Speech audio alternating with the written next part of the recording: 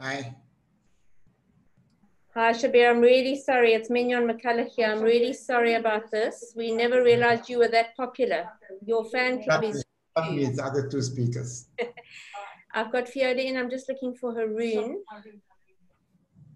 Just ask Haroon if he's got in under his name.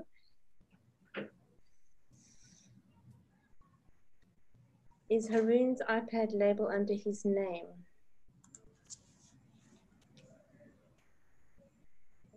Maybe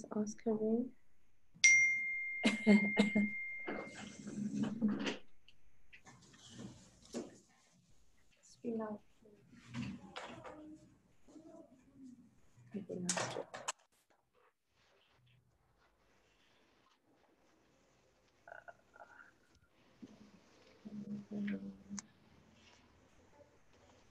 Haroon in the waiting room. I just don't if Haroon is under his name or.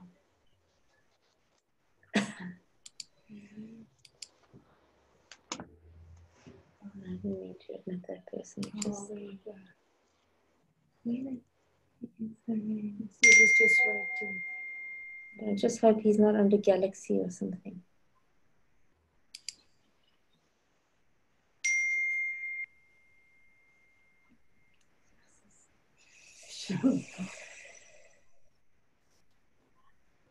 I need to know what is Haroon's label on his iPhone. is it our Haroon iPad? Has he ever bothered? Has he ever changed his name? Hi, Arun, what is your name that you all logged in? Here we go. Got you it. We've got got you. We're Okay. letting you in now. You Okay. should be in now. Guys, Okay. so I just want, in and Shabir is in. We just need to get Mo in as well. who else? Mo. Mo. What's Mo Okay. under? All right. With Great. Mo Right. under? Guys, I'm just needing some help. What's Mo's name? Um, Haroon, can you hear me? Yes, I can. Thank you. I need some help, please. What is Mo's name? It's M- M- M- it- his surname is Archary, and it's Moherndran Archary. Okay, so sorry, I've got 300 names that I'm just sifting through, so just bear with me. And I'm hoping that he's labeled under Muhammad Archary because sometimes people are labeled under the name of their iPhone. I saw his name in that way.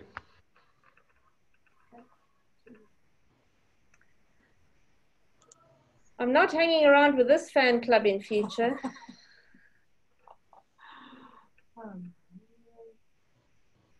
We thought the president was popular. This is another whole league.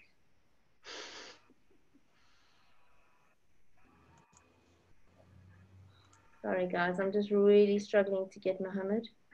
It's Moherndran Mo Moherndran Archary.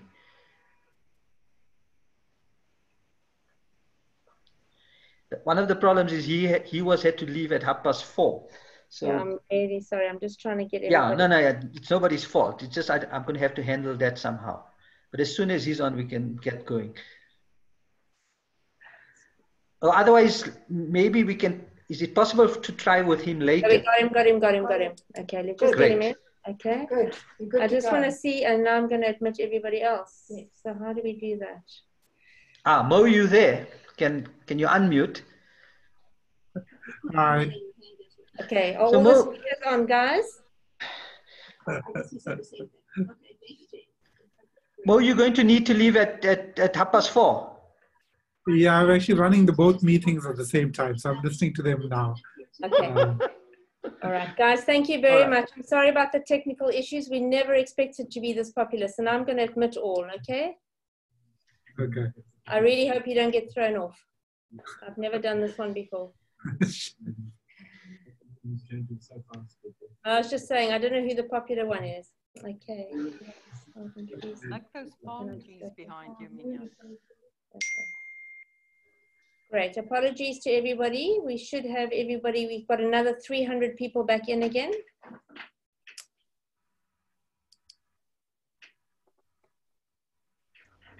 Uh, okay.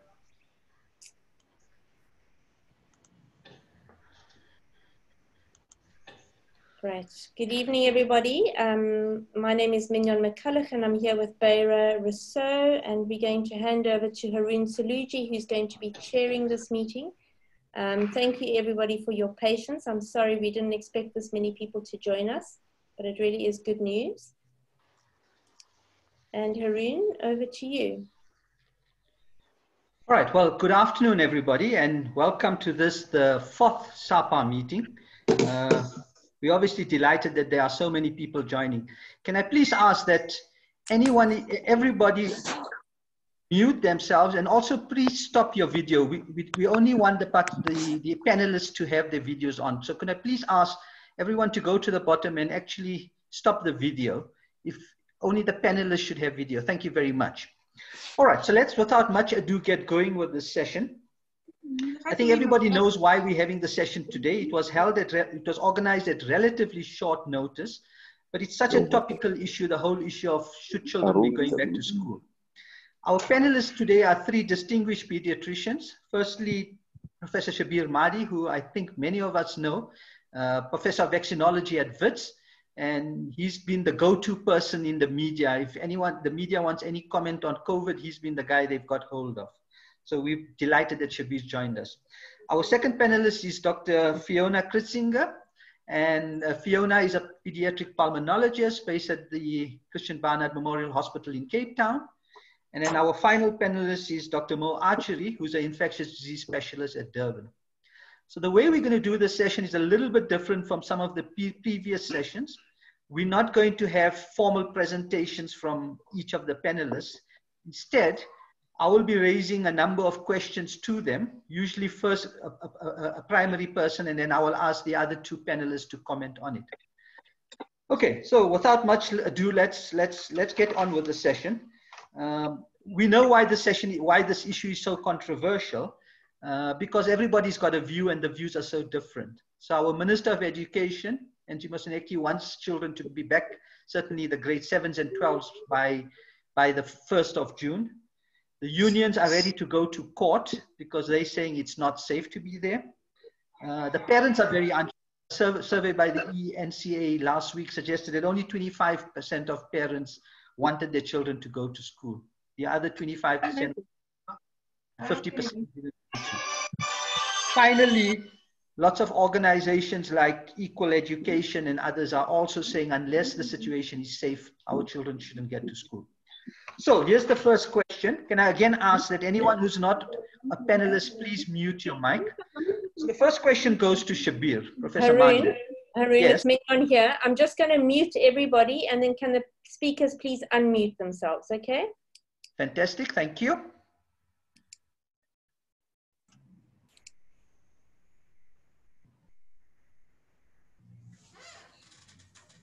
So Professor Madhi, the first question is to you. And it's this whole question of what do we know about children? How infectious are they? And if they go to school, what's going to happen? Shabir, can you? So, yeah, so thanks, Haroon. So, Haroon, I think if you allow me, I think we need to take a step back. Uh, and unfortunately, much of the concern and anxiety uh, sort of speaks to the need for a demystification of what to actually expect with this virus. Now, there's no getting away from the reality that people are going to get infected with this virus. Whether we have a lockdown, level five lockdown, or level two, or level one, or level three lockdown, people are going to get infected, both children as well as adults. The important issue is not about people getting infected, it's about the rate of infection that takes place, right? And that will determine just exactly what sort of consequences are going to be suffered in the country at the macro level. Right. So the first thing that we need to understand is that this is a respiratory virus. And like every other respiratory virus that comes each year, right, roughly about one third of the population are infected each year with influenza. When it comes to RSV, two thirds of children will be infected each year with RSV. This is a respiratory virus. Its modality of transmission is similar to influenza, similar to RSV. So the notion that we can protect and prevent people getting infected, unfortunately, is an unfounded notion right? What we need to work towards is ensuring that there's a slowing in terms of the rate of infection over a period of two to three years, unless we remain perpetually in level five lockdown, right, two thirds of the population are going to get infected, right? And that two thirds might be one third this year, and we're going to have a second wave and a third wave. So whatever decisions we make and whatever we're thinking about in terms of how to go about uh, normalizing society needs to be done in a context that this is not a 2020 problem. We're not going to have a single wave and this virus is going to go away. That is not the reality. We're going to have multiple waves of this virus until there is herd immunity, where roughly about two thirds of the population have been infected, or alternatively, we get a vaccine sooner than that. So I think that's, a, that's an important starting point. Now, in, in, in, relation to the direct answer to your question, so the first thing what we know, and this is uh, studies that were done in China initially, is that in a household where there's one infected adult, the chances of a child being infected is exactly the same as a child being infected. So in Wuhan, where obviously there's fewer children per household than in South Africa as an example, uh, when there's an infectious case in the household, there's a six to 8% risk of another member of that household being infected. And that risk is exactly the same between children and adults. The difference is that when children get infected, right, they're much less likely to become symptomatic, or even if they're symptomatic, they're more likely to have just a mild illness compared to adults. So adults that become infected are more likely to be symptomatic, and depending on their age, depending on other comorbidities, they're more likely to develop severe disease. Right, so there are, so there are differences, but the risk of infection remains the same uh, keeping children at home doesn't mean that they're not going to get infected. If those parents are going out to work, they are going to be the ones that are going to be infecting those children in the household. Right, so I think we need to look at it from a macro level. So when children get infected, what do we know? So just give me one second. So like I said, the, the big problem that we face is an issue of needing to demystify uh, this virus right? And if I, I know this was not to be meant to be a presentation, but I'm going to share one or two slides just to illustrate one or two points.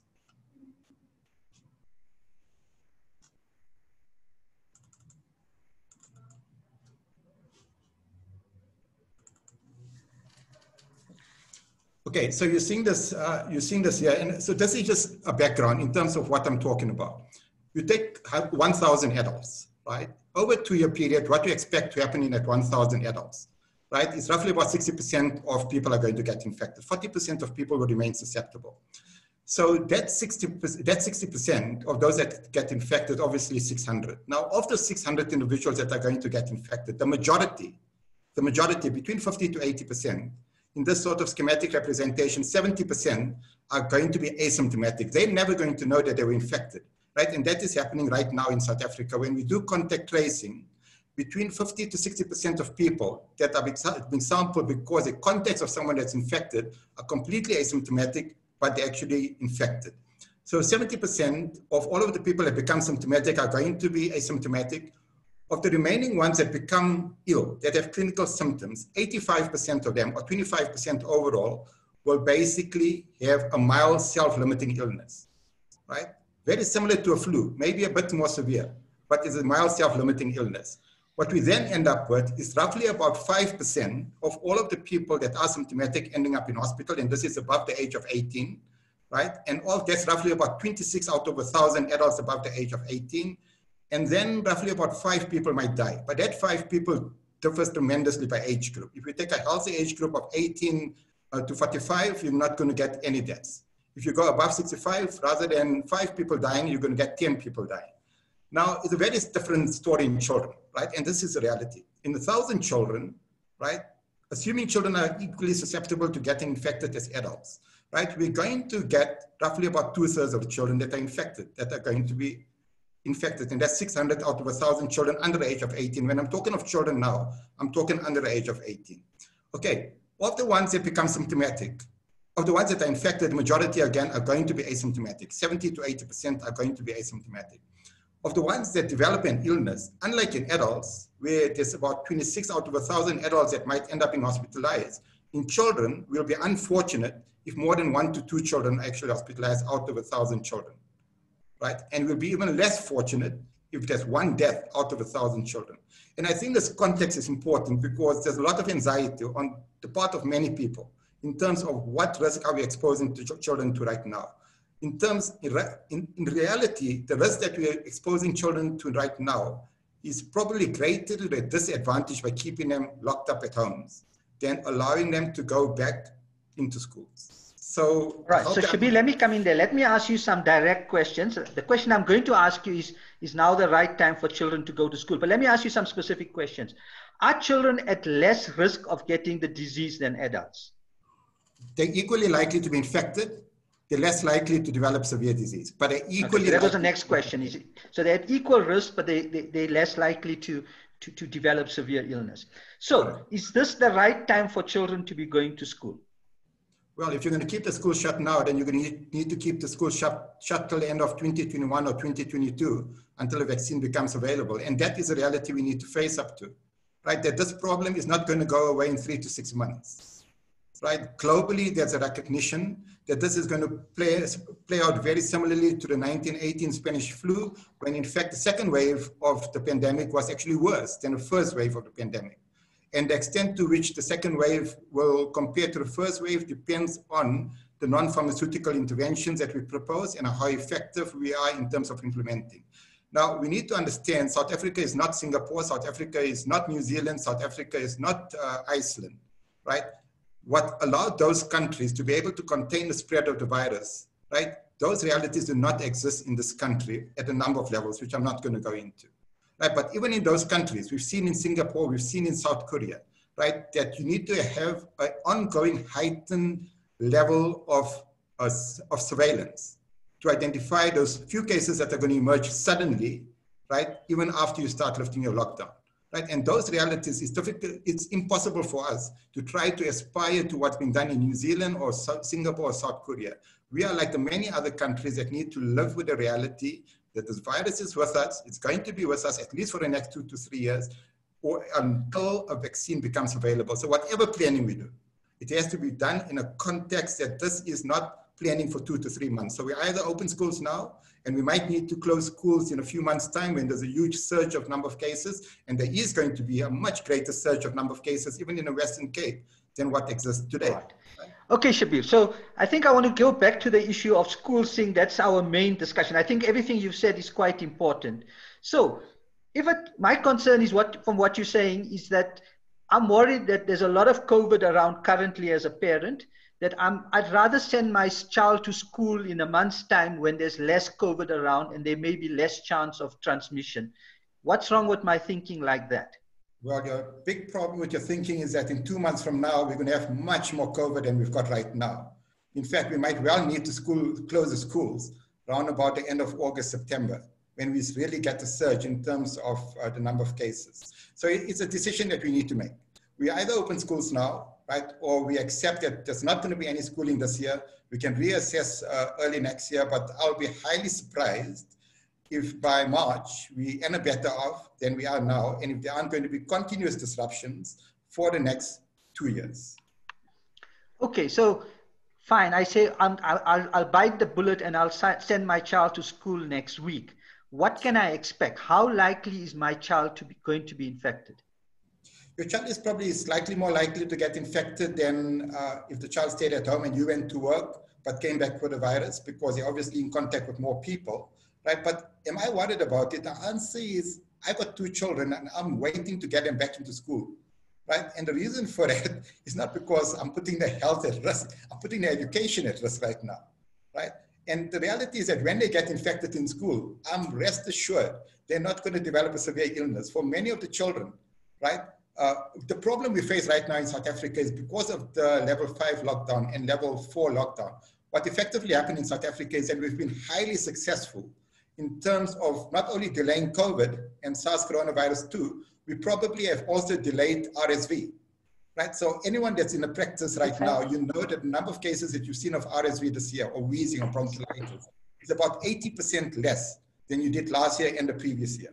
And that's not because RSV has gone away. It's because we've interrupted the transmission of RSV by having the type of measures that we've put into place. So when children going back to school, they're going to be exposed to RSV right? Because the community immunity to RSV has actually waned, and that's when RSV usually comes up. They're going to be exposed to influenza. They're going to be exposed to SARS coronavirus too.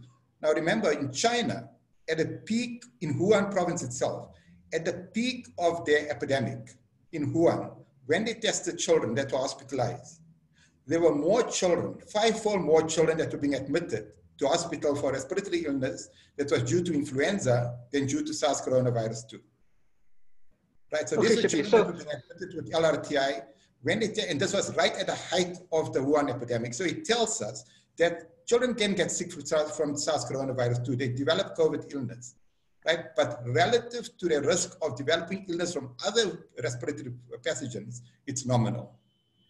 Okay, Shabir. So here's the story. So you've convinced me maybe I should send my child. My child might get COVID, but it's not going to be a serious illness. That's fine. But now the teachers don't want to be there. The, teachers union are saying we don't think it's safe to be there. And of course, there's a risk that the teachers are, the, the, the concern is that teachers are at higher risk. How much of a risk are the teachers at? Is it fair to ask teachers to teach my child? Yeah, so there needs to be a risk profiling of the teaching constituency, right? And I'm not suggesting a 65 year old teacher that's supposed to retire in a few months that's got hypertension and diabetes should go back to school. That would be irresponsible. So there needs to be a risk profiling. But at the same time, we also need to accept that if teachers were to adhere to the principles of NPIs, the non-pharmaceutical interventions, the social distancing, wearing a face mask, hand hygiene, if they were to adhere to that, right, they wouldn't be at any greater risk of being infected in a school compared to being infected outside of a school, right? What prevents people, what reduces your risk of being infected is not where you are, it's what your behavior is. Right? And that applies to students, that applies to teachers, that applies to everyone else. It's about behavior that determines your risk of becoming infected. Right? The virus is all around. Okay, Shabir, so maybe you can stop sharing your screen so we can see the, our panelists' full face. I'm going to ask you one more question before I move on to Fiona. And the question is, okay, so that's teachers, but now children are going to back, go back home and there's OPA there and there's GOGO there. What about the risk to the family? Is that not enough of a reason not to, send all these children to get infected at school? Uh, so the short answer is, uh, uh, you to make me take off my shirt, a slide share, my slide. So you're Now need just to- talk to each Shabir. Yeah. So, I mean, the, the short answer is uh, the only data we've got, so there's limited data. Okay. And I think that's the reality. But there is data from the Netherlands, which did a really good study, which basically looked at when there's a specific age group of individual that's actually infected in the household as a, in the household as an index case, right? And who, who is that person, not only in, a, in the household, but even more broadly, who is that person more likely to infect? And what they basically found is that it's a linear association right? Age-related linear association is that people in the same age group are more likely to infect others of that same age group, which doesn't come as a surprise because people of the same age group are more likely to interact with other people of the same age group. What they also showed is that adults are basically infecting adults, adults are infecting children, and children are really, really, really ever infecting adults. Okay, so what's the reason for that?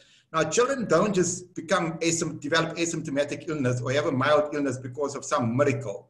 There's some underpinning issue in terms of their immunity, which allows them to be able to control the virus in some such a manner that prevents them from developing severe disease. If their body is not able to control the virus, or there might be an issue in terms of the receptors that are required for the virus to cause severe disease. But if that's not in place, children, like we see with RSV and everything else, will develop severe disease. So what are the possible reasons? One of the possible reasons, right, is that we know if we go in a community right now in Soweto and we sample every child, healthy children in the community, between 12 to 15% of them are going to be infected with coronavirus, not SARS coronavirus 2. They're going to be infected with other coronaviruses that have been circulating since the 1960s, right? Is it possible that infection with those coronaviruses confers some level of cross protection against SARS coronavirus 2? And the answer to that is very likely, right? Especially when they belong to the same sort of family of coronaviruses. So that is one hypothesis. But the reality is that children don't develop severe disease, not because of some miracle of nature, but because it's some biological, under, some biology underpinning the reduced risk. And it's all related to the immune system or that they might not have these ACE2 receptors or they've got less ACE2 receptors than adults. Right? Now, by virtue of them not developing severe disease, by inference, it means they're able to contain the virus, right? and their viral load. So there aren't studies to look at what is a viral load between. So when children are hospitalized, their viral load is the same as an adult's viral load that's hospitalized. But that's an incorrect comparison in terms of generalizing what happens in a community. Because the Right. child is infected in a community that's got a mild illness and or asymptomatic, we don't know what that child's viral load is in relation to the child that's hospitalized. And in all likelihood, knowing what we're seeing, it's going to be lower. And that means they're less infectious. All right, so so I'm going to hold you there and bring Fiona in. What I've heard you say is now is as good as any time to send our children to school. That teachers, if they do the basics right, are not at high risk of getting infected. And there isn't a major risk to everyone at home, including granny and grandpa. Fiona, do you agree with that view? Would you be as willing to send your child to school next week? Yeah, well, if I read the literature, I completely agree with Shabir. I think if I, I think the biggest risk for primarily the biggest fear for any parent. Fiona, sorry, it's Mignon. Do you mind just speaking up a little bit so we can just hear you? Sorry, can you hear me better now? Not really. Can you hear me better now? Yeah, perfect. Thank you. Okay. Now, I totally agree with Shabir. Um, I mean, I'm not nearly as an expert as he is or know all the data that he does, but from the literature that I have read, I agree with everything that he has said, and I agree that schools should be reopened, and I agree that the vast majority of healthy children should return to school. Um, I think the biggest fear for any parent is around death ultimately, because that's the worst outcome for every parent. And again, I think it's important, as Shabir said, that we must put the data into a context so that parents and us can actually understand what it really means because a number is just a number, but we have to, I believe, put it in a relative risk to what was the risk last year in June for a child to go back to school or to be in a school. You know, if you look at the uh, US data, in the same period of the COVID now in America, there were nine reported deaths related to COVID, but the total child mortality was 31,500 children died in the same period of time. So COVID contributed 0.03% to the deaths of the children in America. So I think that the sad thing is children do die each year, every day, of various reasons. And I do not think the risk for death for children this winter is higher than it was last winter. So I guess the question is, is there a group or is there some children that may fall in a different uh, risk category to that generalized statement? And there the data is not um, very helpful. I mean, there is some data, but the comorbidities in children is much less um, clear and much less um, published as in adults. And probably because in the, in, to begin with, we see so few children or less, far less children than adults. Um, and therefore, it's difficult to really tease out wh which underlying conditions is a risk factor. There is one study from the US uh, that, that had laboratory confirmed cases, around 350 cases. And of them, a quarter of them had underlying conditions. And I don't think there's any surprises in that list. We are used to that list for many other viral respiratory illnesses, such as chronic lung disease, cardiovascular disease, immunosuppression, uh, chronic kidney disease, liver disease, diabetes, and then neurological conditions. But again, I don't think there is anything surprising on that list. That's exactly the same children we would have been concerned about last winter for RSV or influenza. And the one that, that that's commonly asked is asthma. What about asthma? Yeah, again, I mean, like any other asthma patient, and we, I mean, that's such a common condition. But the long and the short is if your asthma is well controlled, your risk for a severe exacerbation when you get a rhinovirus or a RSV or influenza is obviously far less than when your asthma is not well controlled. Or if you have severe asthma and you're on high doses of, of medication to control your asthma, you might be more likely to have an asthma exacerbation. But I'm not sure that you necessarily have an increased risk for the type of interstitial pneumonitis that is associated with COVID. Just because you have an airway disease doesn't make you more susceptible, I think, biologically, for an interstitial pneumonitis. So I think there is a lot of this is based on assumptions that we've known about with influenza and RSV and adenovirus and rhinovirus. But I honestly don't think the data is out there that actually supports our gut feeling yet. But I think it's reasonable to assume that those children might be at higher risk. And so in those okay. groups, I would suggest individualizing. Right. So, so I'm, going to welcome chat line questions. The question now is what about cystic fibrosis? Yeah, it's an interesting question. I mean, again, there has very, I haven't seen any specific publications, um, but what I have heard um, word by mouth from North American centers and European centers is that they actually haven't seen uh, CF patients come in with COVID exacerbations. You know, even, you know, big CF clinics like SickKids and in Toronto haven't had a single CF patient admitted with COVID. Um, okay, finally, so what about children attending special needs school? Any, any reason to be concerned there? Comes down obviously to the behavior of the children and how, how the children are able to follow certain interventions. And it might be very difficult for them to wear a mask, for example, or necessarily to understand to keep to social distancing, but they can still wash their hands. And, um, you know, so I don't think that from a from a point of view that they are at greater risk to develop severe infection. I don't think we have any data. They might, due to their behavior, like Shabir said, have a slightly higher risk for infection.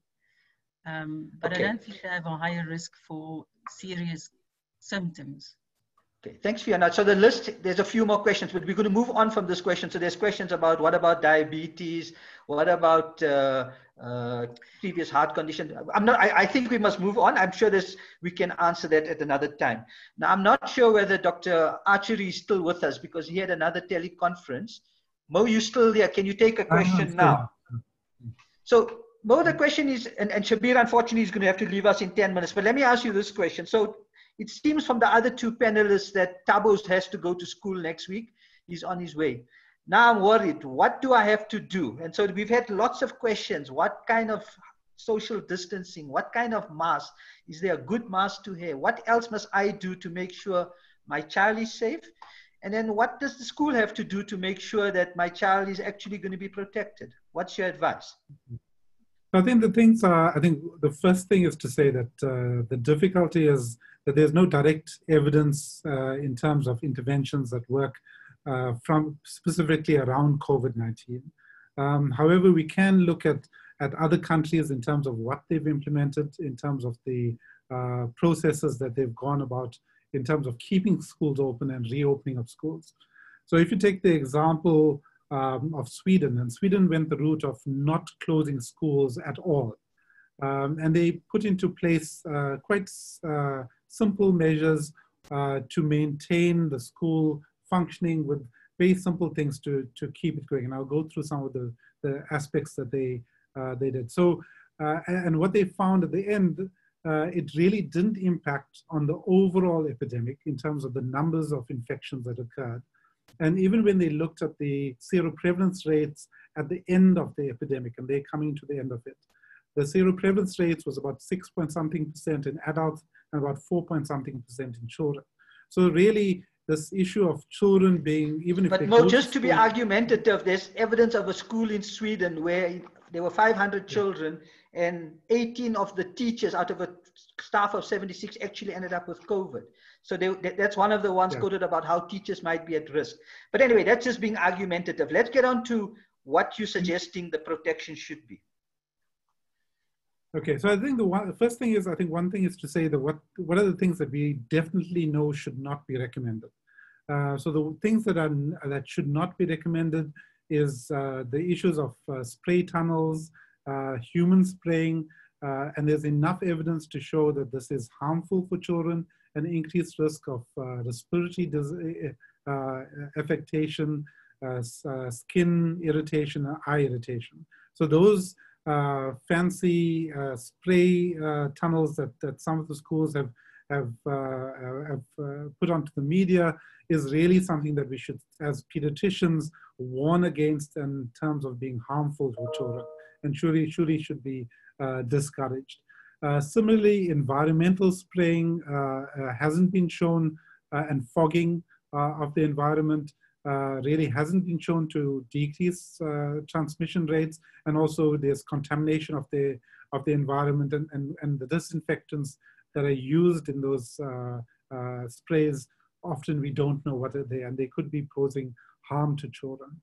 So the uh, things that we should be saying, the first thing and the most important thing is to prevent uh, or, or, not allow symptomatic individuals who are ill to enter the school system. And that includes both children and staff. Um, and, and really the and how would you do that, Mo? What does that mean? How would you exclude kids that you think are at risk? So risk the difficulty is one is, is uh, uh and uh, one issue is fever is, is, uh, has, a, has quite a low pred positive predictive value. Uh, so if you look at the literature, only about 50% of of the presenting symptom. As Shabir said, many children are asymptomatic. Um, and certainly many of the symptoms don't occur in children. So the one thing that, and again from the, the Sweden model was that uh, if your child is in any way sick, uh, do not send them to school. Um, okay. And I think that should so, be. So Mo, let me ask you some more direct questions. So for those who are who are on the call, open the chat because Professor Madhi is offering comments on some of the issues so that I don't have to ask him that, but he's offering comments. So Mo, let's get on to the issue of the mask. So what's, what's your sense of what kind of mask? And the fear of, of, of everyone is that children will not keep masks, particularly the younger kids. So what kind of a mask are you suggesting be used? So the thing is, so the, the general rule of thumb is that we're suggesting the use of cloth masks. Um, and particularly the reasoning behind that is actually it's uh, to prevent the uh, spread or, or, or uh, contamination of the environment uh, and limiting that. Um, certainly, I think the, the limitation is that, as many people have indicated, there is some lower age group at which that could not, that can't be, can't be used. And certainly, you know, we're not expecting a two-year-old to wear uh, cloth mask. And there are alternatives, uh, and uh, the, the, use of face shields are alternatives to the use of, of cloth masks. So the one thing is cloth masks for everyone, and particularly in areas where they are in, in close contact uh, and closed environments. So in the school, in the, in the classroom itself.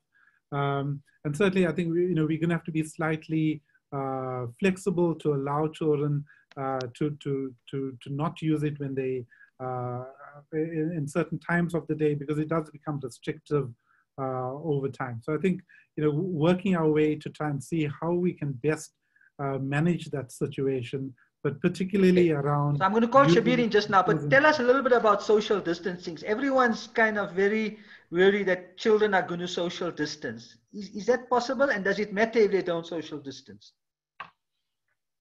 So I think the one thing in terms of social distancing is trying to limit the, uh, I mean, the, physical distancing issue in terms of how do you space the class out and, and especially in closed environments. Um, so certainly I think that you can do in a structured school environment where you can space the, uh, the, the, the, desks out and, and the recommendation, um, although we've recommended 1.5 meters, the WHO is recommending one meter. Um, so that can be, can be done. Um, the other thing is, is decreasing the opportunity to not social distance. Uh, and that comes from staggering of uh, lunch breaks, staggering of other break times uh, for children, and staggering the start and, and uh, uh, uh, end time of, of school. So I think trying to be innovative in terms of trying to limit the times at which large numbers of children congregate um, at, in, in large numbers overall uh, can go towards getting that social distancing uh, uh, program. So, so Mo, one last question before I go back to Shabir the minister has promised that there will be water available to schools. I'm not convinced that that can, that can be delivered by next week. So if there are schools without hand washing, children not to go to back to those schools, or can we live with the fact that there may not be water at schools?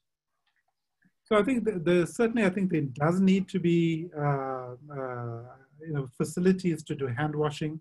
If there's no facilities to hand wash, uh, alternatives uh, should be looked at, and the use of alcohol-based hand rubs is another alternative to that.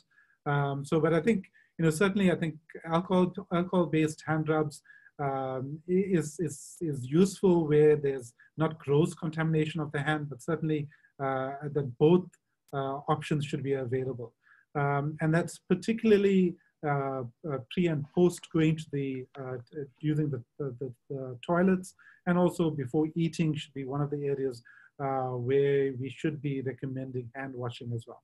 Um, from our discussions with the Department of uh, basic education, I think they've, they've put into place many of the structures to get water available as, as to as many schools as possible.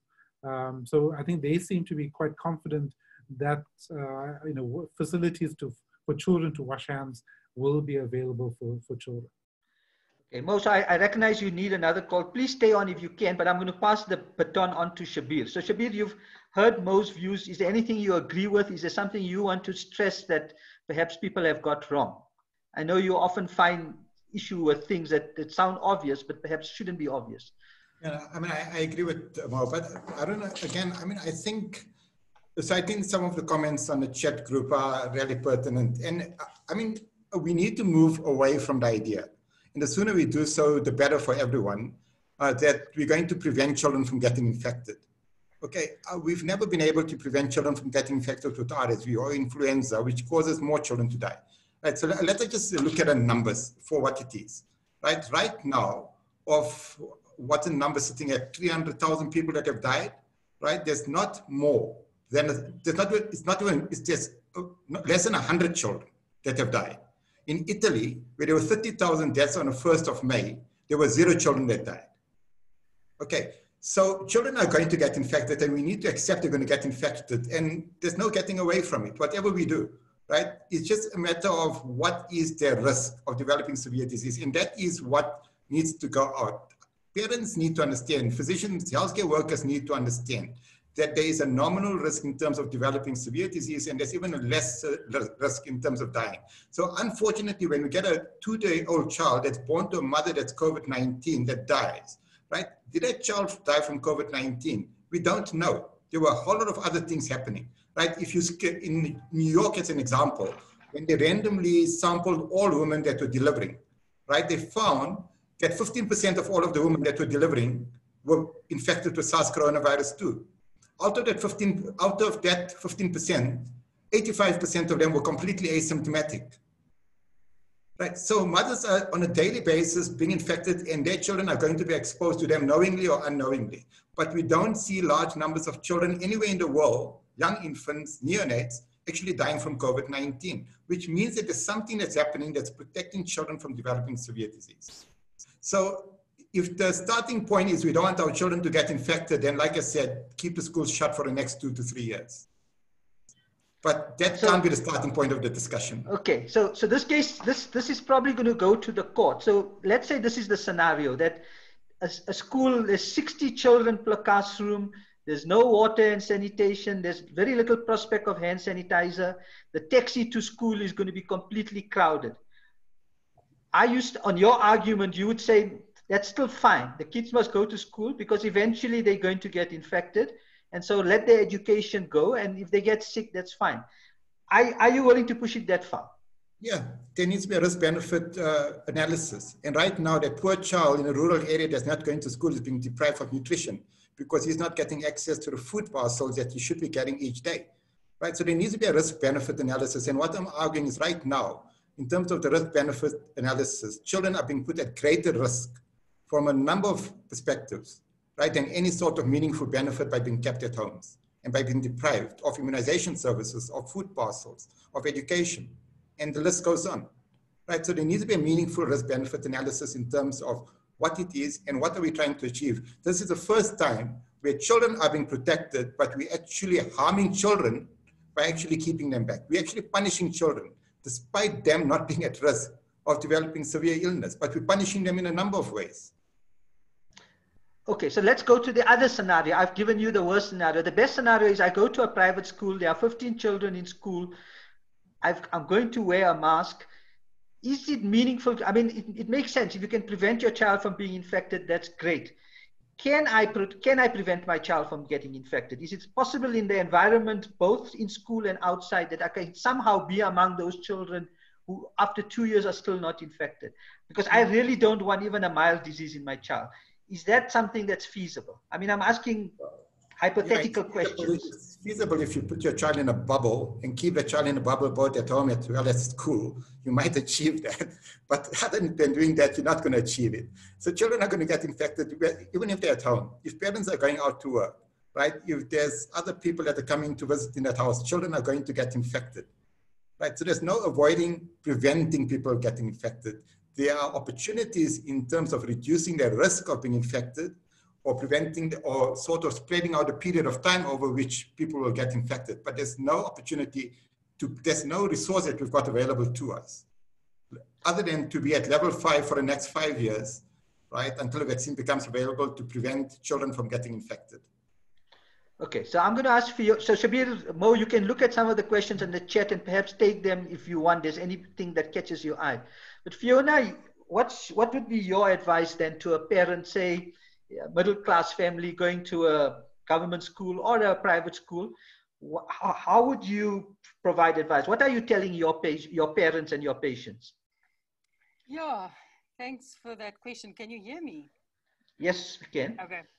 Um, well, I'm telling all my parents that children without serious underlying comorbidities, and with serious, I mean they either have a serious immunodeficiency, a serious structural cardiac disease or lung disease that is not well controlled, um, or chronic kidney disease or uncontrolled diabetes. I'm telling those people to be cautious, but I'm still telling them to, as Shabir suggested, you have to do a risk benefit analysis for your household and your family. And you need to take that decision against the background of understanding that you're not making a decision for the next month or the next two months. You're making a decision at least for the until the end of the year and early next year. And you have to look at is it feasible and is it appropriate for your family and your household to keep that child locked up at home. And there are some of my families who say, well, you know, everything is sorted. The child is happy as Larry. We have homeschooling. We have all the facilities. Mum is at home overseeing the whole process. The child loves being at home, is in a good routine. Then great for you. Then maybe you're one of the lucky ones. But the vast majority of other people, their circumstances is such that either the child is actually not accessing uh, appropriate education at home, or both parents have to work, or um, there isn't any serious underlying condition. And that, I believe, is the majority of households. And in that situation, again, if you weigh up risks to benefit, my question is what is significantly different for the child this winter versus last winter? And if that risk was acceptable to you last winter, why is it not acceptable to you this winter? And, and in those households where there is really, really vulnerable people, and you want to try and keep the circle as close as possible, then I, I think we should also allow people to make their decision for themselves and not become draconic with our measures. But okay, let me ask some general questions and then we'll try and wrap up. We've got about 10 more minutes, even though we started a bit late. And I, but I know Professor Madhi. So any of the three of you can take these questions. So the first question would be, uh, what, ab- and Fiona, let me, maybe you, because you've got the mic. What about sports at school? Yeah, again, I mean, I think it is it is a concern because obviously the moment you have a group sport, there's going to not be social distancing. And maybe that's a big step for parents to make at this point in time. But I would argue that if you play tennis, and you can probably still play tennis with the, the opponent across the net, um, or if you do individual sports, it may still be able to, to do that. Um, but I think for, for most parents, that's a bit of a stretch. But I would hope that physical activity, it may not be competitive sport, but that physical activity for children is definitely part of going back to school. And Okay, thanks, Fiona. comes back to the overall Mo or this question to you. So we open schools and we start finding that either the, the, the, the, the, the children or teachers have uh, developed COVID. How big does the outbreak have to be before you start thinking we better close the school? Or is it something we say, it's going to happen, Shabir, your argument, school remains open, doesn't matter 10 kids or 50 kids got COVID, education goes on. From an epidemiological point of view, is there a critical number where we'll say, ah, ah schools must close again? Shabir.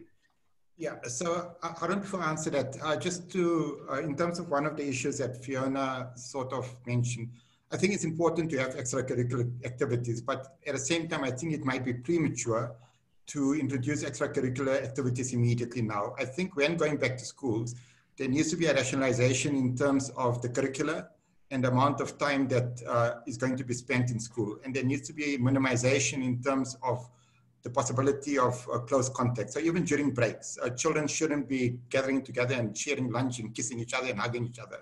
So in fact, in the first two days of school, the only thing that should be thought, taught to the students is about what this virus is all about and how can we protect ourselves. And hopefully the children become vectors of transmission of knowledge to their parents rather than vectors of transmission of the virus. So uh, I, and I think that's really important. So I think we need to be a bit guarded. I wouldn't say just open up the schools and allow things to be back to normal. So now I've forgotten the question you asked. So what if there's an outbreak in the school? What, how, do, how will we define an outbreak in this kind of setting and what, what will make us decide to close the school again? It's a theoretical question, but it's likely to happen and it's something we're going to face. How would we approach this issue? So, so we, again, so I think Mo already mentioned that what we need to do is that uh, even though there's a very low likelihood that a child that is symptomatic with respiratory illness has actually got SARS coronavirus is more likely to have influenza or RSV or rhinovirus.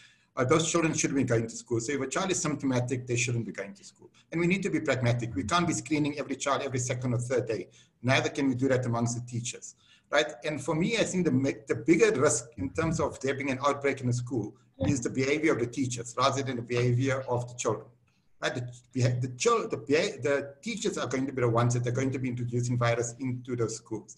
And the behavior of teachers means that the teachers need to adhere to the NPIs. The teachers can't be gathering into tea rooms. They can't be gathering into staff meetings into a close uh, in one little room, right? So it's really, the, for me, I think the critical issue at school, in schooling, in fact, is the behavior of the teachers. Because like Mo mentioned in Sweden, and you cited that example in Sweden, you had all of those teachers that were infected, but no children, right? So what does it tell us? It tells us is that the teachers are that are infecting each other because of their behavior. Okay. So in terms of how to uh, respond to an outbreak, uh, we need to accept people are going to get infected in schools. Does that mean that we need to shut schools? Yes, we need to shut schools if we start, see a sudden dramatic change in terms of this epidemic and we end up seeing huge numbers of children that are hospitalized, right, which is very unlikely to occur. Okay, thanks, Shabir. So we're going to wrap up in about three minutes. Mo, I see you still there. I know you serve on the Ministerial Advisory Committee on COVID, and I know the committee has is, is making recommendations about schooling. Is there anything that we've said today that hasn't been covered yet that would be part of those recommendations? You probably, well, I don't know whether you're able to to, to, to share with us what the, exactly the guidelines say, but perhaps are there any things you want to highlight that's likely to come in and advise that, that you have advised the, the minister that hasn't been covered yet? Uh, so, I think these are, so when we looked at the literature, again, I think these were may, you know, largely uh, based on what's, what's the literature available. And certainly I think it's very clear that uh, the, the likelihood of children having severe disease is extremely, extremely low. And the uh, risks in terms of the, the, the issues that, that children have to bear with in terms of uh, other issues that they have to uh, uh, uh receive with, with not going to school is far higher. So the, the recommendation is that, that children should return to school and that should be done in a way that would protect both children but also the, the, the, the school environment and, and teachers in it. Um, and many of those uh, protections that we've, we spoke about and, and what Shabir spoke about in terms of, of teachers, uh, you know, uh, congregating and all and social distancing are, are, included into that guideline. So I think the, the main thing is uh, we, we want schools to be open because it's good for children. Uh, secondly, uh, we want to do it in a responsible way. And certainly, I think the, the one thing is that, uh, we, you know, I think there's a lot of uh, anxiety that we need to accept, both in terms of, uh, of parents and also children as well.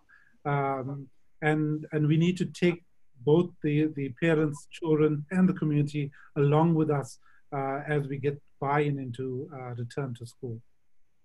Thank you, Mo. I see there's one question that I haven't. It says something about national guidelines suggest screening of all learners and teachers twice a week. Is there any point in screening in a in the school setup? I'm not sure what what these guidelines are. I haven't seen these. Certainly, I think there's no. Uh, uh, so I say there's a difference between screening and testing. Um, so certainly, I think we're saying that you should be regularly screening yourself in terms of if you have symptoms of the disease, then you do not come into the school. And that, and that really should be done eh, you know, once a day. Uh, so every morning a parent should be screening their child for symptoms. And if they are uh, symptomatic or, or uh, they feel that they're symptomatic, they shouldn't send them to school. Similarly, okay, yeah, of course, we're not talking about testing of any sort. All right, so I think time to wrap up. So I'm going to allow each of each of you to perhaps just give a final message for about two minutes or so.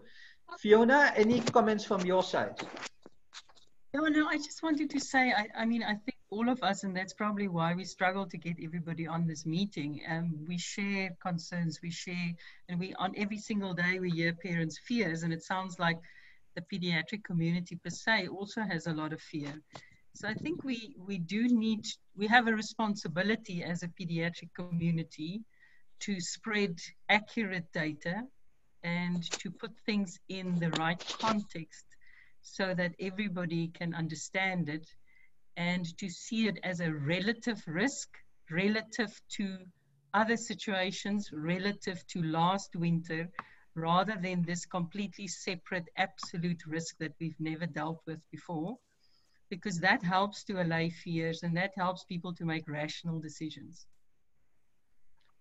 Thank you very much, Fiona. Shabir, you need to leave soon. Any parting words from you? I see you've been responding to some of the comments on the chat. I do apologize to participants for not answering the participants, the panelists, all your questions. There's been quite a lot, but at least Shabir has been answering some, so you can see his responses. But Shabir, some parting words from you about this whole scenario. Yeah, I mean, I don't, I don't have much else to add.